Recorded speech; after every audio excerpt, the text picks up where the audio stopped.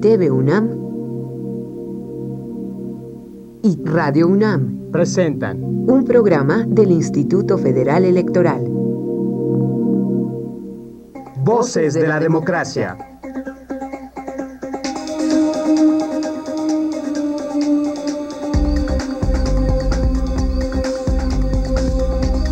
Voces de la Democracia.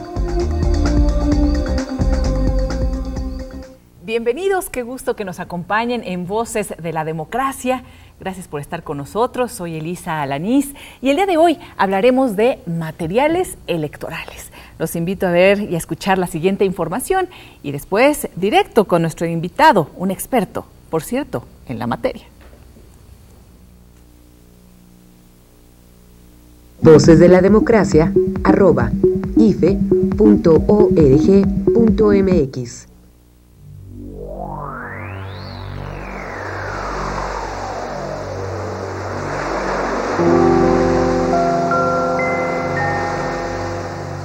Asegurar que los más de 79 millones de mexicanos registrados en la lista nominal de electores dispongan de las facilidades para asistir a las urnas supone proveer todos los materiales, útiles y documentos que se utilizan en las casillas, asegurando sobre todo que estos garanticen la autenticidad, legalidad, transparencia y efectividad del voto. Elaborar y diseñar los materiales y documentos electorales, evaluar y supervisar su funcionalidad, impresión, producción, distribución, custodia y almacenamiento es tarea del Instituto Federal Electoral. Para este proceso que acompañan y vigilan los partidos políticos, el instituto cuenta además con el apoyo de instituciones de todo tipo, que con el fin de hacerlos más eficientes, seguros y económicos, implementan mejoras en el diseño y producción de estos insumos.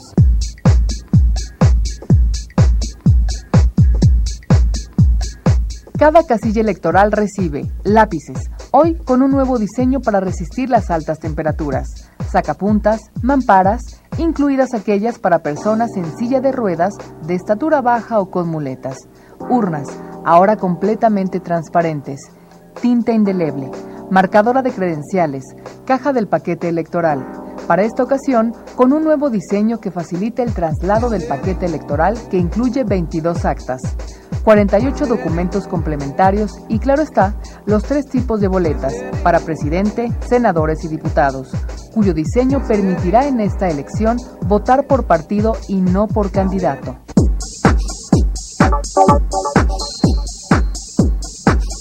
Los documentos electorales son la materia prima del trabajo de la democracia. En ellos se plasma no solo la voluntad popular, sino también los datos, resultados e incidentes de la jornada. El proceso en su conjunto, como lo apunta el presidente consejero Leonardo Valdezurita, garantiza a la ciudadanía, a los partidos y a los candidatos que los materiales que se utilizarán el día de la votación cuentan con las medidas de seguridad necesarias para brindar confianza y confiabilidad a los resultados electorales.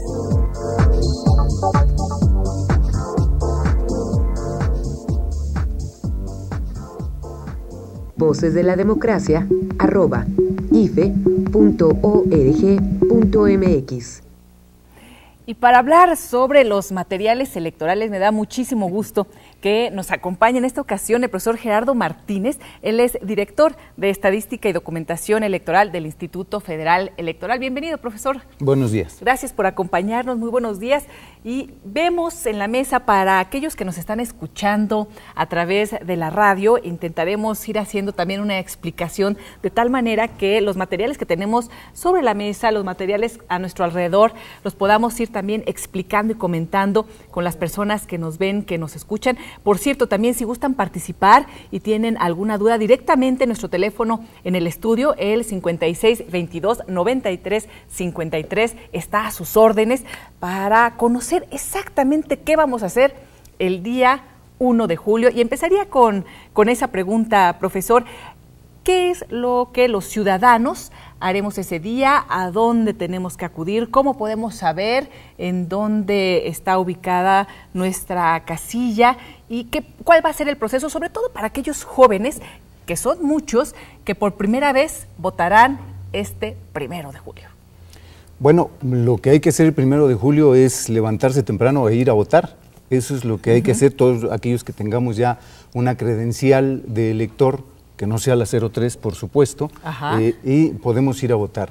¿Qué es lo que hay que hacer? Acudir a la, a la casilla que nos corresponda, que siempre va a estar dentro de la sección. La sección es un dato que tiene nuestra credencial y ya hemos puesto eh, em, días antes, cerca de donde está nuestro domicilio, algunos carteles que nos indican dónde se va a ubicar la casilla, Elisa. Además, eh, en días previos, ya desde ahorita, en algunos lugares más concurridos de nuestra colonia, de nuestra sección, cerca de nuestro domicilio, en la tienda, en la tortillería, en el centro comercial, ya el IFE eh, colocó las listas donde están los domicilios y además donde están los integrantes que van a atender cada una de las mesas directivas de casilla, de tal suerte que ya con esa información ya podemos saber dónde se va a instalar nuestra casilla. Profesor, ahorita ya todos debemos tener nuestra credencial para poder votar o todavía hay algunos plazos, no sé si se pierde, si hay que hacer algún tipo de renovación,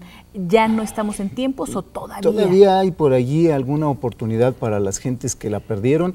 Eh, el Tribunal Electoral incluso recibe algunas eh, eh, demandas de juicio eh, por derechos civiles de, lo- de- los ciudadanos. Si el IFE por alguna razón no le entregó su credencial, todavía puede acudir al Tribunal Electoral y el Tribunal Electoral, si lo considera eh, legal, eh, emite una resolución mediante la cual el ciudadano puede acudir a votar. Estamos ya en la cuenta regresiva. Totalmente. Me imagino que... Caída el- libre. en caída libre, o mejor de bajadita, Para- por- así ya más suave, porque está todo listo Es, en el IFE o no, profesor. ¿cómo van con el tema de los materiales y de todo el proceso? Platíquenos. En el tema de los materiales electorales, a la fecha están concluidos todos e incluso ya hay una buena parte de ellos distribuidos a nivel nacional. Nosotros eh, implementamos dos eh, periodos de distribución, uno que ocurrió en los primeros días de abril y el segundo que está eh, llevándose a cabo ahorita, que empezó hace algunos días, el 30 de mayo, y que concluirá el 11 de junio, eh, mediante el cual estamos distribuyendo a todo el país eh, un material esencial que son las boletas electorales. No es lo único, mm, llevamos también allí algunos otros materiales. ¿El Instituto Federal Ele- Electoral hace la distribución de todos los materiales o hay algún eh, tipo de responsabilidad en el ámbito estatal? ¿Qué es lo que aportan los distintos estados que también tienen esta elección concurrente? El Instituto Federal Electoral se hace cargo absolutamente de las elecciones federales. Federales. Nada más, de las elecciones federales. Lo que corresponde a la documentación, materiales e implementación de toda la logística de las elecciones locales corresponde a los órganos electorales correspondientes. Es decir, por ejemplo, si eh, para quienes en este momento nos ven o nos escuchan en los estados que también tendrán elecciones, ¿van a acudir a un mismo lugar físico? ¿Va a haber esto que se llama las eh, espejo para poder ir? Y aunque no sea en el mismo, en la misma boleta, en la misma urna, sí será en la misma ubicación física en donde votarán federal y local. Así es, Elisa. Eh, en las entidades federativas donde vamos eh, conjuntamente en, en elecciones coincidentes, en esta ocasión, algunos estados van por gobernador, otros por diputados locales, por presidentes municipales. Allí eh, la casilla, tanto para recibir la elección federal como para la elección local, están ubicadas en un mismo domicilio. Hay la diferenciación dentro del domicilio, de un lado estará la mesa directiva de casilla federal y del otro lado la local. Ya hay convenios establecidos para que eh, se atienda a la ciudadanía para ambas elecciones. Y entonces si el, el IFE realiza la distribución de lo federal, ¿puede haber diferencias en los materiales, en las boletas de lo federal y lo local? ¿O también están em, de acuerdo en ese sentido para que sea lo más similar posible unas y otras? Hay eh, la, mm, el- la intención de que la documentación electoral sea lo más similar posible para el funcionario de la mesa directiva de casilla. Aquí hay que hacer esa diferencia. Realmente lo que ve el ciudadano que acude a votar de la documentación, pues solo son las boletas electorales en primera instancia. Y allí cada instituto electoral tiene un diseño diferente. Hemos convenido con ellos que utilicemos colores diversos, que no utilicemos los mismos colores en la diferenciación de la documentación electoral, pues para ayudarle al ciudadano y que sepa por qué está votando. Porque además, pues en estas eh, votación concurrente, sí tendrá que estar muy bien enterado el ciudadano para, para no cometer ningún error, además, y no se vaya a anular su voto. Serán cuántas boletas en lo federal, cuántas boletas en lo local en el caso de que existan estas votaciones concurrentes. En el caso de la elección federal son tres boletas, por presidente de los Estados Unidos mexicanos, por senadores y por diputados federales. Y las boletas de las elecciones locales, perdón, van a ser de acuerdo a la elección que se vaya a llevar a cabo en cada entidad federativa. Habrá dos, tres o tal vez más, Sí. dependiendo del tipo de elección que se vaya a llevar a cabo. Pero en lo federal son tres boletas. A ver, y aquí tenemos sobre la mesa precisamente las boletas. ¿Ya están todas listas? ¿Ya toda Todas las boletas están listas y están ya distribuyéndose, como te decía, algunos instantes. Bueno, nos puede platicar, por lo pronto lo que vemos ahorita aquí en la mesa, profesor, hace un momento yo le decía, bueno, ¿y esto? ¿No? Aquí no- nos tomamos también una foto para el Twitter, porque aquellos que quieran participar con preguntas, eh, hacer algún comentario, lo pueden hacer eh, esta vía o a través de nuestro teléfono. Por cierto, si me permite, puedo dar también su, su cuenta, Claro. profesor, para- por si alguien tiene duda y quiere en estos momentos participar, es arroba Gerardo Martínez. Y eh, bueno, ahí está para, para que en estos momentos nos pueda, nos pueda comentar. Y el teléfono 5622-9353. Empecemos con este instrumento que es para Marcar la credencial de elector. única y exclusivamente, todos tendrán, eso, es, esto que vemos aquí, lo tendrán en las mesas. En las mesas directivas de casilla. en cada ¿Qué? una de ellas. ¿Y lo va a ver eh, el ciudadano también o hay, hay algunos de estos elementos que no, que no estarán a la vista del ciudadano? Por ejemplo, los lápices para marcar las boletas son los mismos para todos. Para, toda la, para todo el país. para todo el país. Entonces, con, eh, con este se marcará la credencial, con eh, los lápices se marcan ya Las boletas. las boletas y son iguales. ¿Qué tipo de lápices? A ver, en el caso del lápiz ELISA, es un lápiz que tiene eh, algunas características eh, específicas que nos van a permitir que emita, que marque la boleta electoral y que esta marca no se pueda borrar con una goma común y corriente.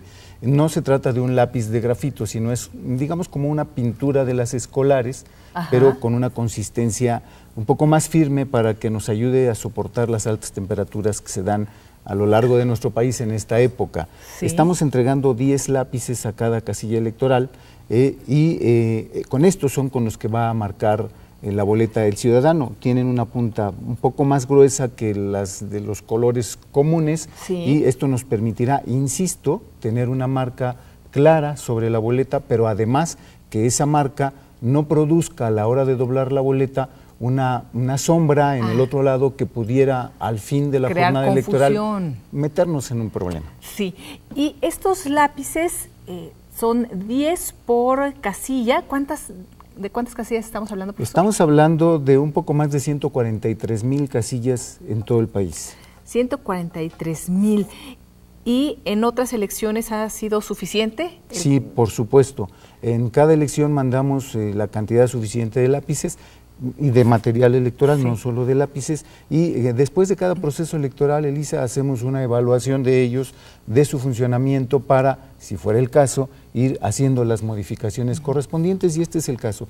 Tenemos un lápiz un poco más grueso y más largo. Las boletas, nos comentaba que eh, serán tres a nivel federal Tres. para el presidente de los Estados Unidos mexicanos, senador y Diputados federales. Vamos a encontrar los mismos eh, eh, símbolos y logos de los partidos, ahora de manera ya diferenciada, hay que decirlo, esto no será por coalición y también pues la gente deberá eh, saberlo de, de antemano. Muy bien. ¿Puedo tomar sí, una boleta? por favor.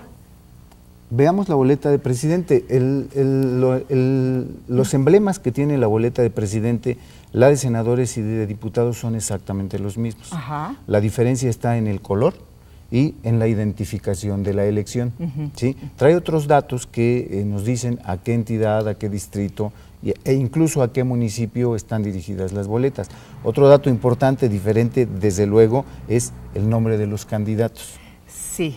Ya desde 2009, desde la elección de 2009, eh, atendiendo a una modificación de la ley, los partidos políticos aparecen individualmente con su emblema, aun cuando fueran coaligados. Así es. Ya desde 2009. Hoy no es la excepción porque en ese caso no hubo modificaciones a la ley.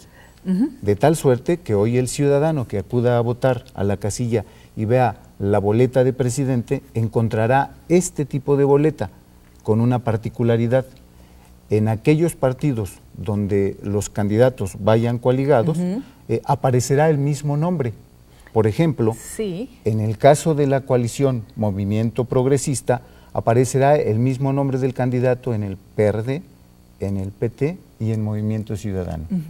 Y aquí hay algo muy importante que comentar, Elisa. Las coaliciones que se registraron para esta elección fueron dos, la coalición Movimiento Progresista Sí. y la coalición Compromiso por México. Sin embargo, cabe hacer una aclaración. La coalición Compromiso por México, integrada por el Partido Revolucionario Institucional y por el Partido Verde Ecologista de México, solamente se coaligó para participar en la, en la elección de diputados federales en 199 distritos y en la elección de senadores en 10 entidades federativas y Ah. en la elección presidencial a nivel nacional. ¿Y qué pasa ahí, en ese sentido, en las boletas de senadores, de diputados y de presidentes? En Bueno, la- esa es labor de- del Instituto Federal Electoral, ya nos lo entregarán listísimo. Así es. Pero No, platíquenos, ah. ¿cómo, ¿cómo será entonces esa diferencia en las boletas? Bien, si las dos coaliciones van coaligadas eh, eh, de manera nacional, de manera general por la elección de presidente, todas las boletas de presidente llevarán, en el caso de la coalición Compromiso por México, el nombre del mismo candidato. Sí. En el caso de la coalición Movimiento Progresista, a nivel nacional aparecerá el nombre del mismo candidato. Sí. En el caso de la elección de senadores, donde el Partido Revolucionario Institucional y el Partido Verde Ecologista no vayan coaligados en esas entidades, aparecerán candidatos diferentes. Sí. Donde vayan coaligados, aparecerán los nombres de los mismos candidatos. ¿Qué implicación tiene a nivel eh, legislativo o a nivel ya de la presidencia el que se marque, por ejemplo, eh, a un partido siendo este eh, partido coaligado con, con otro? Bien. ¿Cuál, sería ¿Cuál va a ser la implicación? ¿Cuál es la diferencia para aquellos, por ejemplo, en la presidencial, que van eh, coaligados lo- la- los partidos en Movimiento Progresista y Compromiso por México?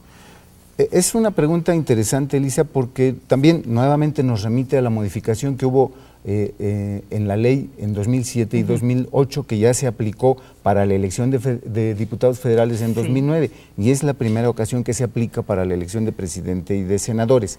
Es interesante porque esta modificación nos señaló primero que ahora la boleta tenía que llevar los emblemas individuales de los partidos Ajá. aun cuando fueran coaligados. Nos señala también que, desde luego, si van coaligados pueden llevar el mismo nombre. Anteriormente, antes de la elección de 2009, si una boleta tenía dos marcas, dos marcas, ese esa boleta se consideraba como voto nulo. Sí. A raíz de la modificación de 2007-2008, toda vez que los partidos coaligados tienen al mismo candidato, tuvo que haber una modificación en la ley. Y nos dice la ley que si el ciudadano marca el emblema de dos o más partidos políticos que están coaligados entre sí, entonces ahora ese voto es válido. O sea, es válido si marco un solo partido a si marco tres o dos, dependiendo del caso de cada una de las coaliciones, siempre y cuando sea el mismo candidato. Es correcto, So- en ese caso serán, serán válidas. es correcto.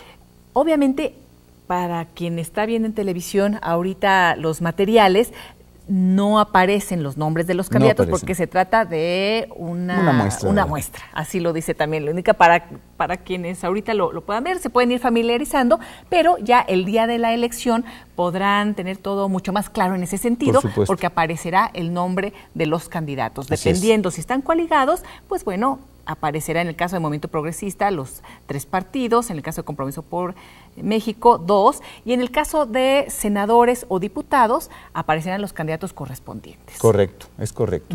Aquí vale la pena también comentar una cosa. Si el ciudadano hace dos o tres marcas en los partidos que estén coaligados, esto no quiere decir que su voto vaya a valer tres veces o dos veces. Esto es muy importante aclararlo. El ciudadano puede votar por un partido o por candidato marcando tantos cuadros como el nombre del candidato aparezca Ajá. para incluir a las dos coaliciones. ¿Qué pasa en ese caso a la hora del escrutinio y cómputo de los votos? Si el ciudadano marcó, supongamos, los dos emblemas de la coalición Compromiso por México, entonces ese voto se cuenta aparte, esa boleta con ese voto se cuenta aparte, no se pone ni para el PRI ni para el verde ecologista, Sino para la se coalición. pone para la coalición. Esto es importante señalarlo. ¿Por qué? Porque al final del día, en el acta de, la- de la- de escrutinio de- y cómputo de esa casilla, se anotarán los datos de manera diferenciada. Y en el distrito electoral correspondiente, cuando se concluya el cómputo distrital después de, de la jornada electoral, el miércoles siguiente, se sumarán todos los votos que los ciudadanos emitieron por el candidato. Se van a sumar todos y se dividirán entre dos para sumárselos a cada partido político. En el caso, por ejemplo, de eh, movimiento progresista, ¿qué pasa si algún ciudadano marca dos emblemas? Es correcto, se tomará como voto válido y se anotará en el espacio del acta de escrutinio y cómputo que contiene esos dos emblemas. Ya hemos También diseñado como, como coalición, También también, como va, coalición. va en la contabilidad de la coalición, Es pero en ese caso como dos emblemas y no, y no los tres Es que correcto. conforman. Es correcto. Ajá. Ya las actas de escrutinio y cómputo distribuidas a nivel nacional para cada distrito electoral están eh, eh, ya eh, para eh, tenerse en la casilla y contendrán eh, el acomodo que de acuerdo a la combinación de esos 199 distritos y de esas 10 entidades federativas de la coalición Compromiso por México nos hizo diseñar. El funcionario de casilla ya tendrá allí en qué espacio anotarlo. Sí. ¿sí? Todas estas modificaciones implicó mucho más trabajo para los capacitadores, para los funcionarios de casilla, es decir, están perfectamente preparados para conocer todas estas nuevas disposiciones que Así sí es. lo hace no no eh, más difícil, sino que tiene que ser mucho más cuidadoso también o conocer nuevas eh, eh, reglas una Así vez es. que se realizó toda esta reforma electoral y bueno, pues en ese sentido felicidades a todos los funcionarios que van a participar y a todos los capacitadores que han realizado su labor. ¿Ya concluyó la capacitación? No. Están en eso. Está todavía en eso. Ah, perfecto. Si le parece, profesor, escuchemos la palabra de ciudadano porque preguntamos si considera confiables los materiales electorales y esto respondieron. Voces de la Democracia, arroba ife.org.mx. Depende de cómo arregle el IFE su sistema de cómputo y de que realmente el Tribunal Federal Electoral cuando se le envíen los casos actúe con pleno derecho. ¿no? Mm, francamente no, yo preferiría urnas electrónicas que las tradicionales. Yo siento que es más seguro ya el método electrónico como el que usan en Estados Unidos. pues es una institución de credibilidad, ¿no? Creo yo, y pues, a mi punto de vista sí es confiable todo el material que maneja. Como que no, como que todavía hay muchas cosas que luego las cambian, ¿no? siempre han sido seguros. Eh, de lo que conozco tienen varios candados, hasta la credencial del IFE. Muy bien. Eh, pues un 80%. Pues porque el- ya está todo computarizado y es un sistema muy seguro y más rápido. Pues Sí, yo creo que sí.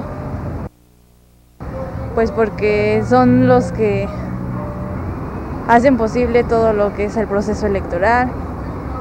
Yo sí se creo en eso. No, la verdad no. No, pues son muy, es muy, este, son muy de, de dudosa este, procedencia, pues. No confiamos en la, bueno, yo no confío en la veracidad. Claro que sí, claro que sí. Sí confío. No, porque hay mucha mano negra, por eso. Ya no es tan confiable la votación. Pues hasta donde se ve, nada más. Pues siempre están bien este, revisados por todas las autoridades. Sí, sí se han hecho trabajos suficientes como para confiar en ellos. Ahora hay que confiar en la, en la cuenta de esos, de esos materiales electorales. Voces de la democracia, arroba, ife.org.mx. Bueno, estábamos viendo eh, esta, estas voces de los ciudadanos, escuchando también, y como buen profesor, está usted tomando nota. Entonces, yo voy a dejarlo para que nos comente sobre estas anotaciones que estaba realizando una vez que escuchaba también la opinión de las personas en este sondeo que realizamos. ¿Qué, ¿Cuál es la inquietud, profesor? ¿Qué anotaciones hizo? Platíquenos y después también damos paso a las preguntas de quienes nos hacen favor de participar también en este programa a través de nuestra línea telefónica. La recuerdo, 56 22 93 53.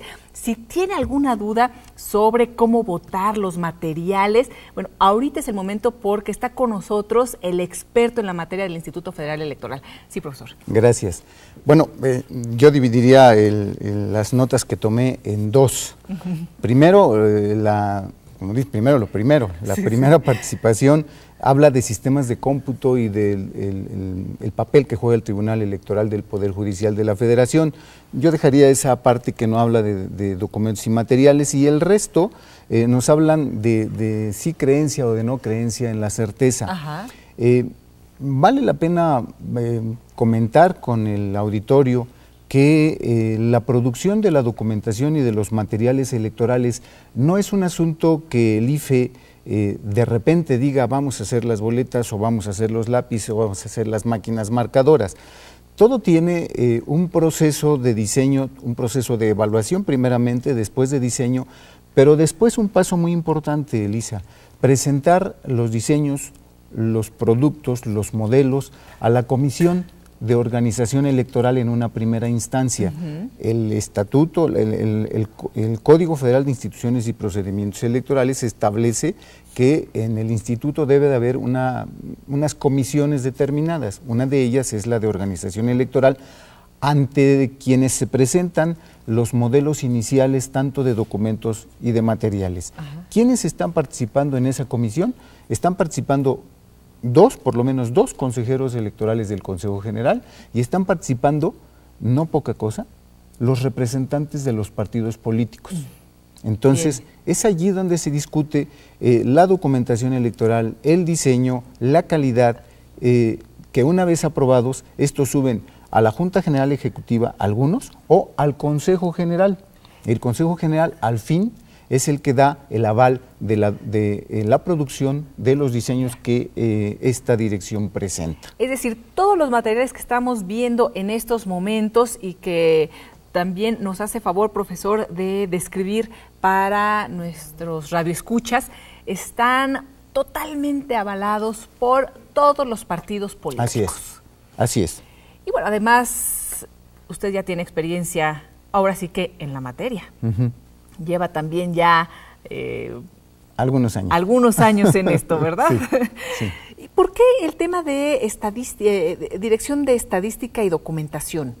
Bien, eh, dentro de la Dirección Ejecutiva de Organización Electoral, eh, esta se compone por, por, tres direcciones de área, una que es la Dirección de, de Operación Regional, uh -huh. que es la que se encarga de establecer comunicación, organización y control de eh, todos los órganos desconcentrados, los 332 órganos desconcentrados que tenemos en el país, juntas y consejos locales y distritales, una dirección de área aparte.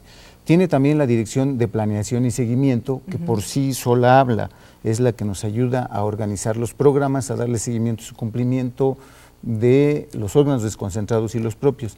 Y la Dirección de Estadística y Documentación Electoral, que da cumplimiento al mandato de ley para la Dirección Ejecutiva de Organización Electoral, parece juego de palabras.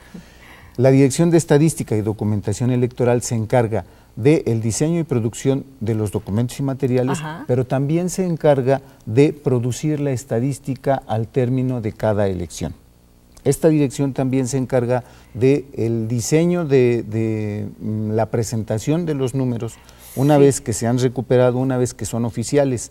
Hay en nuestra página de internet una, un- el- el- la liga para ver los resultados electorales y que hemos logrado poner allí a nivel de casilla, Elisa, desde 1991 hasta 2009. Ah, qué interesante. ¿Nos eh, puede repetir el, bueno, no repetir, recordar para eh, quienes nos ven, nos escuchan la página? Claro que sí, es www.ife.org.mx. Y bueno, ahí podemos ver toda esta, eh, esta calificación cualitativa, cuantitativa que se hace de, de lo que son y fueron las distintas elecciones. Yo daría paso a algunas de las preguntas y dudas, profesor, porque están eh, muy interesantes y creo que serán de vital importancia no únicamente para quien las realiza, sino para quienes eh, no, no saben exactamente qué hacer o tienen algún tipo de duda al respecto. Dice, ¿qué se hace con los materiales electorales usados en las pasadas elecciones? La señora Martínez. ¿Por qué se? Martínez, no es mi familia, pero me da oportunidad. Eso No es la tía, no es la no, hermana, no, no. no, no, ver, es- no, sí. no, no sabían que venía. Pero, pero es importante, eh, de verdad, gracias por la pregunta, porque miren, eh, ¿qué se hace con los materiales usados?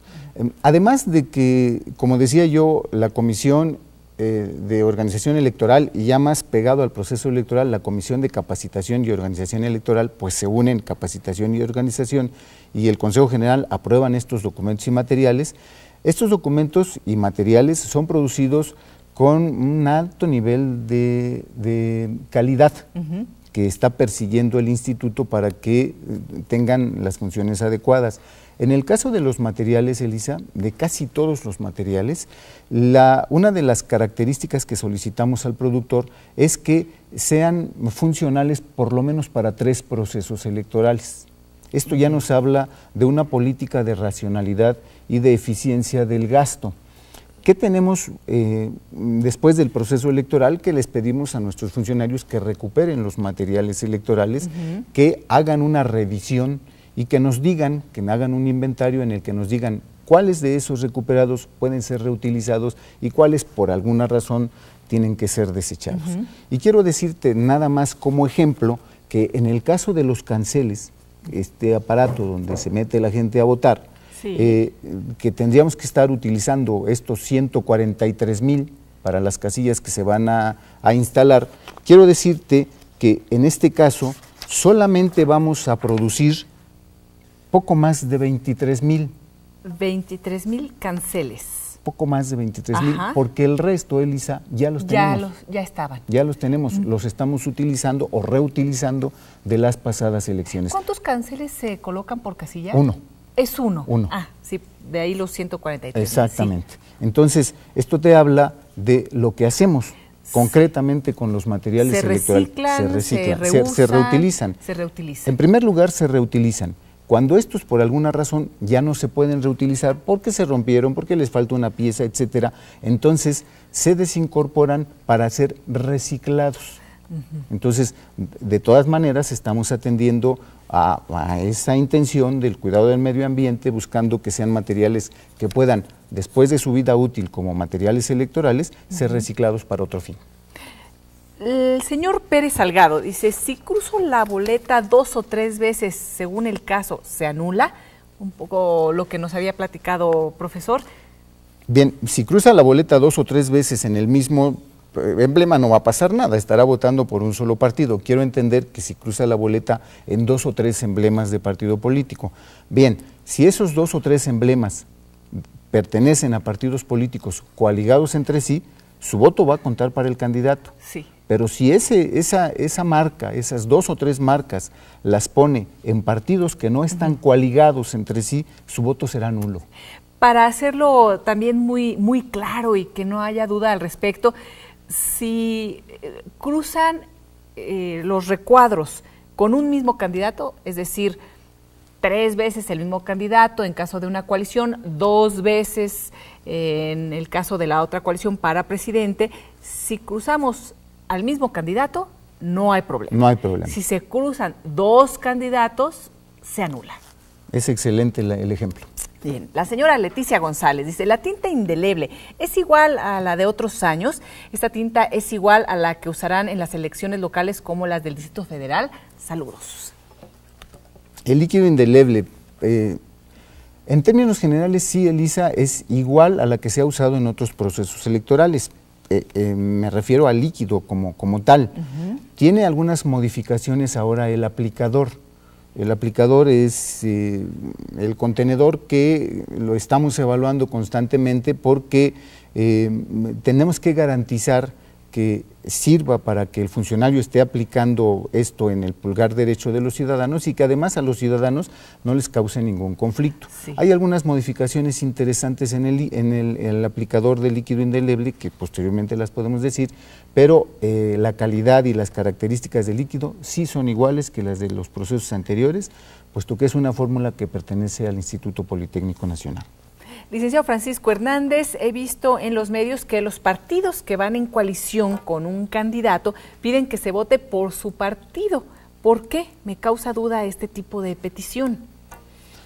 Habría que ver cuál es la, la política de, de votación para los partidos que están coaligados. Lo que como instituto les podemos decir es que si usted vota por uno de los partidos de, que están coaligados, el voto va a contar exclusivamente para ese partido. Si usted decide votar por los tres partidos que tienen al mismo candidato, entonces su voto, que siempre será uno solo, se dividirá para darle una- un tercio de su voto a cada uno de los partidos. Entonces muchos de los partidos dirán, bueno, yo quiero el voto completo. Por supuesto. Entonces por eso eh, Esa es la razón. la petición. Y además, sobre todo también en el tema de diputados federales, eh, será también importante para el número de curules. Por supuesto. Ahora sí, antes no era, no era de esa manera. Decidía la coalición cómo se distribuían. Es correcta, es correcta la información. Mira, en el caso, en el caso de senadores y de diputados e incluso de presidente de la República, al tener eh, la boleta, la individualidad de los emblemas de los partidos políticos, esto le va a permitir al instituto, eh, al final de los cómputos, saber cuántos votos efectivamente recibió cada partido político. Tiene dos vertientes esto. Una primera, en el caso de senadores y de diputados federales, es que ese dato le va a servir al instituto para posteriormente hacer la asignación de senadores y de diputados de, de representación proporcional. Esa es una parte importante. Sí. La otra parte importante es que le va a permitir al instituto saber qué partido político eh, tuvo un porcentaje de la votación arriba del 2% y que si lo tuvo abajo pierde su registro. El registro. Esto es importante. ¿Podemos ver alguno de las eh, boletas, profesor, para seguir explicando también eh, conforme a lo que podemos ver o describir en el caso de, de la radio? Eh, Aquí eh, aparece en el Partido Acción Nacional, Partido de la Revolución Democrática, Partido del Trabajo, Nueva Alianza, Partido Revolución Institucional, Partido Verde Ecologista de México, Movimiento Ciudadano y un espacio que dice, si desea votar por algún candidato no registrado, escribe en este recuadro el nombre completo. Así es. ¿Para qué es este recuadro? ¿Qué tipo de información nos proporciona? Y eh, bueno, la gente dirá, "Ay, yo puedo poner a quien sea. Sí, por supuesto.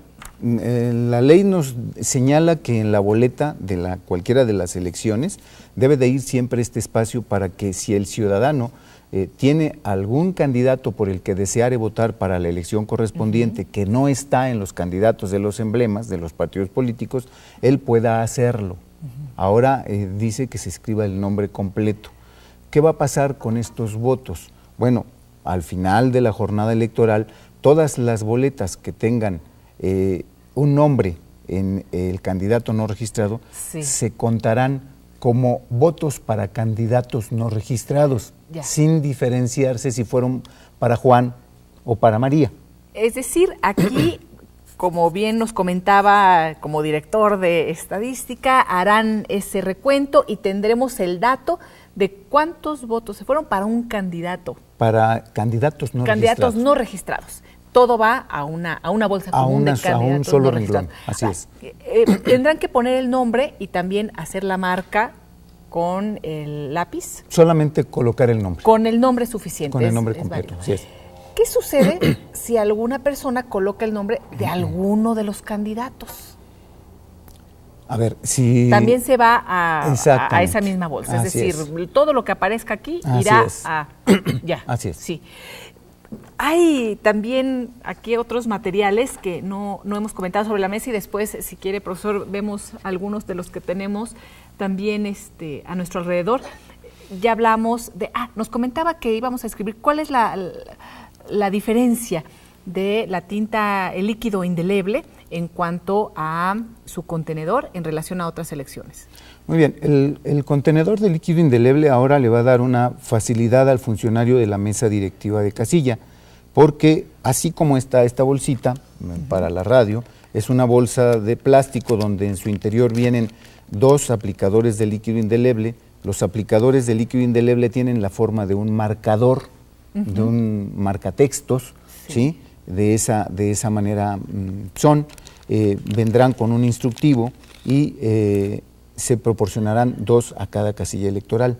Hoy la diferencia está en que el contenedor viene herméticamente cerrado. El líquido indeleble por su composición tiene un olor no muy agradable, huele a vinagre, ¿sí? Sin embargo, ahorita podemos A percibirlo. ¿no? No, no huele, No. no, huele. No Ah, yo pensé que lo que había cambiado o- ojalá o pudiéramos cambiarle el olor. Así es, así es, no es posible, es por su composición.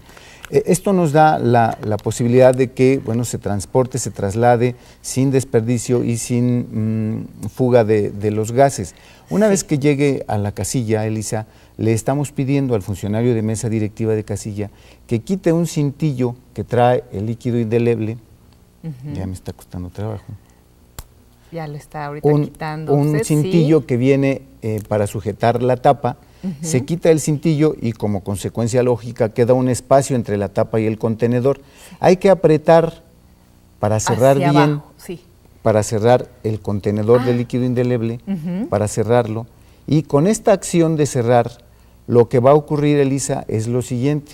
Evidentemente, al tapar, al cerrar, la tapa va a empujar la punta hacia el interior y esa punta va a romper una membrana que es el cierre hermético y que va a permitir, al romperla, que el líquido comience a fluir hacia la punta. Oye, qué tecnología, profesor. Esto lo vamos a dejar colocado en la mesa Sí. de forma horizontal y cuando terminen de instalar la casilla, Ya el aplicador ya estará impregnado. Si tú Ah, alcanzas a ver, ya comenzó a fluir ahí el líquido. Y ahora es transparente. Ya lo era, no, no tengo. Ya lo era. Sí. Ya lo era. Ya en la Sí. elección Anterior pasada, también. Sí. Y dos son suficientes. Dos ¿Qué- son suficientes. ¿Qué pasa si eh, hiciera falta algún tipo de material, si se agotara el líquido indeleble o los lápices? sé que tienen también calculado por experiencias anteriores totalmente la cantidad que deben distribuir en cada una de las casillas, pero si se diera el caso, Eh, tenemos la siguiente posibilidad, Elisa. En el caso de los lápices, son 10 lápices. Nosotros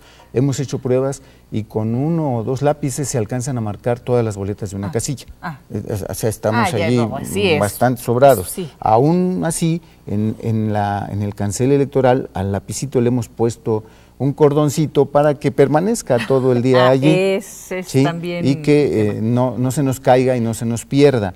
En el caso del líquido indeleble, con un solo aplicador, Elisa, se alcanza a impregnar el dedo de los todos los, Ah. los ah, ciudadanos que acudan a votar.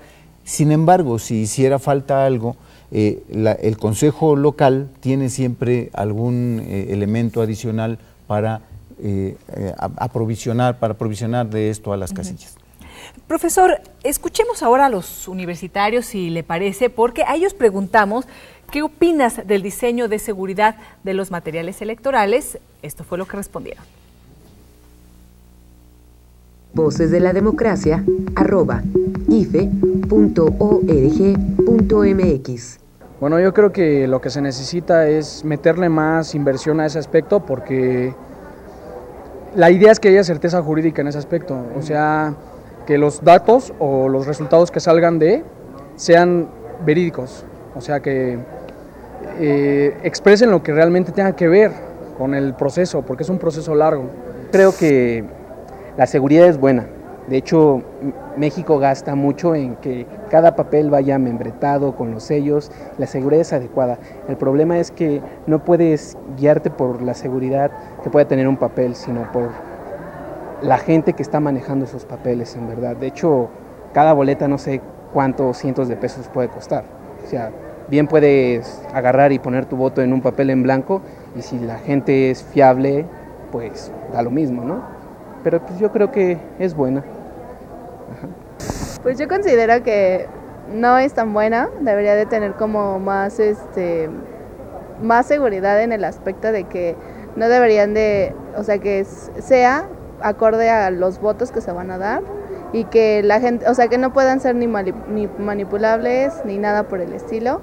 Yo pienso que todavía es algo deficiente en cuanto a la seguridad, aunque en esta elección se está procurando más, el IFE está procurando más que haya más vigilancia, observadores electorales y cosas así. Yo no creo que estén bien protegidos o el organismo que se encargue de, de revisarlos, calificarlos y eso no creo que haga la, su tarea limpiamente o imparcial. Sería todo. Bueno, yo creo que la calidad es demasiado buena, sí, pero eh, la seguridad ya recae en la persona también de quien maneje ese, ese paquete.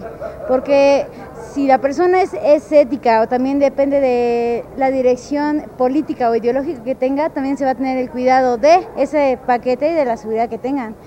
Obviamente, si está influenciada, pues aunque sea en la mejor calidad de paquetes, no va a llegar correctamente a, a lo que se quiere tener. Voces de la Democracia, arroba ife.org.mx. Profesor Gerardo Martínez, nos están llegando muchas preguntas de nuestro auditorio. Qué bueno, gracias por participar. De eso se trata este espacio también. Nuestro teléfono 5622-9353. También nos están llegando vía red. Entonces, eh, algunas de las preguntas se duplican de Twitter o redes eh, con la gente que nos está llamando, entonces trataré de hacer eh, las preguntas que abarquen todos los cuestionamientos que tienen nuestros radioescuchas, nuestros televidentes. El señor Felipe Rojas nos dice, ¿cuándo, ¿cuándo se implementará la urna electrónica? ¿Hay el proyecto de hacerlo? Conste que no son mis conocidos, ¿eh? y qué bueno por la pregunta. Ayer precisamente la Comisión de Organización de Capacitación y Organización Electoral aprobó que se llevara a cabo, Elisa, el primero de julio, una eh, prueba piloto con eh, una boleta electrónica. ¿Qué es la boleta electrónica? Es un instrumento mm, parecido a una boleta, parecido, eh, que, tiene un funcionamiento electrónico, es, eh, está el diseño de esta, de, como al frente tiene la imagen de una boleta y el ciudadano, en lugar de marcar con un lápiz el emblema del partido político, solo tiene que oprimir un botón que está precisamente debajo de cada uno de los emblemas. En este primero de julio se va a llevar a cabo una prueba piloto que evidentemente no será con los emblemas de los partidos políticos, porque es una prueba piloto no vinculante, es decir, no tendrá un valor legal.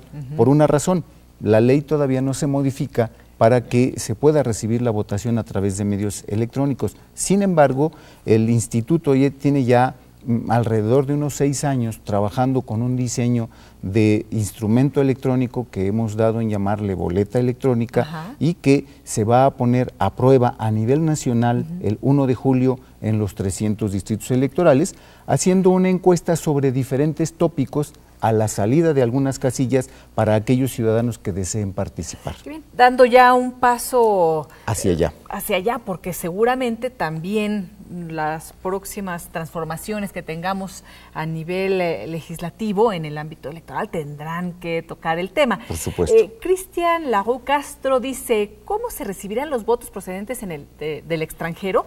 ¿Qué certeza hay en los materiales, en las boletas que remitirán los paisanos fuera del país? Eh, estoy muy contento, son puros temas míos. Y muchas Mira. gracias, profesor, por eh, asistir, porque realmente se lo, les comento eh, a nuestro auditorio, pues sí, estamos con la persona indicada para responder ahorita todas sus dudas en relación a los temas de cómo votar, de los materiales y con toda la experiencia. Bien, a ver, para el voto de los mexicanos en, el- en el extranjero, independientemente de, de la cantidad de votos y de la posibilidad que tienen y de la voluntad, más que de la posibilidad de la voluntad que tienen los, mexicanos que residen en el extranjero de participar en estas elecciones, hoy el IFE hizo modificaciones a la estrategia, desde luego basados en la norma y con acuerdos del Consejo General, para dar más facilidades a nuestros paisanos. Ya se están recibiendo los votos, Elisa. Ya eh, el mecanismo empleado por el instituto ya tiene eh, resguardados más de 16 mil votos de mexicanos residentes en el extranjero. ¿Cómo se cuida ese voto? El mexicano que vota desde el extranjero recibió una boleta igual en la conformación de la que van a tener los mexicanos en territorio nacional. La única diferencia es que arriba dice voto de los mexicanos en el extranjero. Bien. Pero es una, tiene las mismas características. Ellos recibieron esta boleta y recibieron un sobre determinado en el que una vez hecha la marca, lo doblan, lo meten en el sobre y ese sobre lo depositan en su apartado postal y ese sobre se recibe en México.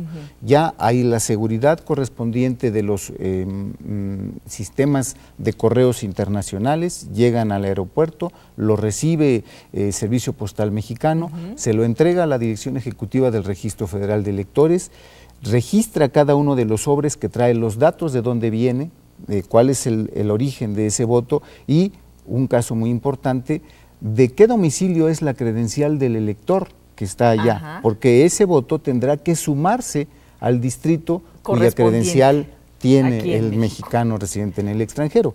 El Registro Federal de Electores hace esa, ese punteo, nos entrega a organización electoral los sobres, los resguardamos, los registramos y vamos colocándolos en los apartados correspondientes. Esto ya está en una bodega determinada y tiene la vigilancia de la Secretaría de la Defensa Nacional. Raúl Jiménez, estudiante, dice, debería prohibirse entrar a la mampara con celular, ya que hay partidos que están comprando el voto con foto de la boleta. ¿Qué tema, profesor? No sé si, no sé si debería prohibirse. Mm, Es un asunto de, de libertades también. Habrá que, es un tema delicado. Lo que creo yo es que eh, el instituto ahorita no tiene eh, elementos para decir que no se entre con, con, eh, un teléfono celular. Seguramente haremos algún mecanismo para que ya estando dentro, del celu- dentro del- de la mampara podamos mm, dar algún mensaje para decirle no uses tu teléfono, el voto es libre y secreto, que ya lo tiene, en fin, pero ya es un asunto más complicado. Sí, sería muy complicado para Tendrá los que irse por las vías legales, claro. la denuncia, Sí, etcétera, lo que está pasando, ¿no? Por supuesto.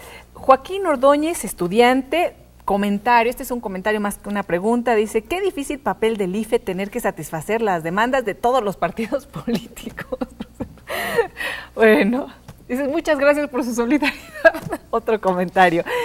Dice, eh, ¿qué hacer con las boletas que son sustraídas en eh, lugar de dejar, eh, dejarse donde debe ser, En la urna. en la urna? ¿Qué hacer con las boletas? La verdad es que no sabría. Primero, eh, si, las, si alguien las sustrae, pues ya no vamos a contar con ellas. Se las va a llevar. ¿sí? este, estoy pensando en que a lo mejor algún ciudadano se presenta a votar y en lugar de depositar su boleta en la urna, se la lleva. Allí yo no tengo control. Ya no podría yo hacer nada porque el ciudadano, pues, como si yo no lo veo, no le puedo decir que, deje la boleta. no, ¿no? no contará, Claro. y pues simplemente... Así es. Tendremos una boleta de menos en esa lista de ciudadanos que votaron. Mm. Profesor, vemos aquí algunos otros materiales, ha hecho usted también algunas anotaciones, el tiempo increíble se nos va, eh, pero independientemente de ello, me gustaría escuchar su opinión, si hay algún tema en particular del cual nos quisiera hablar, de alguno de los materiales, de las Claro que anotaciones sí. también que realizó. Adelante. Claro que sí. Eh, miren, decirles, eh, mm, en el caso del, del escrutinio y cómputo de los votos, con esta eh, modalidad legal que estableció el legislador de la posibilidad de que una boleta con dos o tres marcas en partidos coligados se convierta en un voto válido, eh, el IFE ha desarrollado una serie de mecanismos y de instrumentos para ayudarle al funcionario de mesa directiva de casilla, buscando que al final de la jornada electoral los votos sean perfectamente clasificados y sean perfectamente anotados y contados. Hay que señalar que en cada mesa directiva de casilla no solamente están los funcionarios que fueron elegidos por azar, no solamente están ellos que fueron perfectamente eh, capacitados, sino están también los representantes de los partidos políticos. Cada partido político tiene la posibilidad de registrar hasta dos representantes ante cada casilla, de tal suerte que están los ojos de los, de los representantes de los partidos políticos revisando lo que hacen los funcionarios. Además está la posibilidad de que entren a la casilla a observar los observadores electorales. Esto nos da confianza y nos da tranquilidad de que los votos se van a contar y se van a contar bien por una parte. Sin embargo, si por alguna razón el, el voto o el número de votos en una casilla cae dentro de algunas de las causales legales para que esa casilla sea recontada, el IFE en sus 300 distritos electorales el miércoles siguiente, ya con algún mecanismo informático, tendrá eh, un indicio de cuáles son las casillas que se tendrán que recontar para establecer ese recuento. Que por cierto podría ser una de estas causas, lo que comentábamos hace un momento, si no cuadra Claro. el escrutinio, ¿verdad? Claro, Eh, claro. Si alguien sustrae una, Claro. deposite nota, si no cuadra eso, te- es, Por es supuesto. causal para, para Por recontar. supuesto, sí. Eh, sobre también el tema de, del día de la elección y de lo que veremos alrededor, están también las urnas que son totalmente transparentes. Las vemos también aquí presentes Ah, eh, para sí. quienes están en, en televisión. Entonces, estas eh, están también a la vista y claro, ¿no? Completamente. Eh, los materiales electorales, eh, uno de los más importantes es la urna. Hoy las urnas, tanto de presidentes, senadores y diputados, están construidas en un material transparente que permite ver desde el principio lo que hay en, en su interior. Uno de los mm, mandatos legales es que al inicio de la votación demostremos a los ciudadanos que van iniciando a votar que las urnas están vacías. Sí. Esto es muy importante y con este material es completamente posible revisar y ver a simple vista que las urnas están vacías. Este es una, uno de los materiales nuevos. Otro material nuevo es la pinza para marcar las credenciales. Hoy nuestras eh, credenciales de elector por las diversas eh, generaciones que han pasado, han modificado el espacio donde tendría que marcarse que un ciudadano ya votó. Con el ánimo de dar facilidad al funcionario de mesa directiva de casilla, se diseñó en el IFE esta pinza que marca la credencial en la parte que corresponda, tiene la posibilidad de colocar la marca en el recuadro correspondiente. Y esta pinza también será reutilizable. Para 2015 solo habrá que cambiarle el dado que marca el año, ¿sí? Y podrá ser reutilizada. Y por lo pronto ya está también listo, ahora que hizo la, la prueba, profesor, la, el líquido indeleble, el que ya, Ya explicó cómo se va a hacer. Entonces, una vez que se hace este procedimiento, está Nosotros listísimo para abrimos el, ser el- el- utilizado. el- líquido indeleble y ahora vemos Sí. que ya, ya tiene el líquido en la punta. Qué bien. Antes era blanco, Así ahora es. ya tiene la coloración del líquido indeleble. Bueno, pues eh, yo eh, agradezco, profesor, el que haya eh, tomado el tiempo para contestar todas las dudas, para mostrarnos el material y felicitar a quienes han realizado el esfuerzo para que esté todo listo y sobre todo a la ciudadanía que va a participar activamente en todo esto, eh, en la capacitación conocerán de ello puntualmente, cómo va a realizar todo para que los ciudadanos podamos llegar y esté todo perfectamente ya listo para marcar nuestro, nuestro voto. Muchísimas gracias, profesor, por habernos acompañado. Cualquier duda, pues ya le estaremos mandando ahí. Vayan a Twitter. votar. Vayan a votar, vayan a votar, Sí. vayan a votar. Muchas gracias. Gracias a ustedes también por habernos acompañado y por haber participado a través de la red y a través de nuestra línea telefónica. Los espero en el próximo programa para seguir escuchando y comentando sobre temas electorales y preparando ya, como decía el profesor, pues bueno, la cuenta regresiva ya de bajadita. Muchas gracias. Muchas gracias. Gracias a todos y hasta la próxima.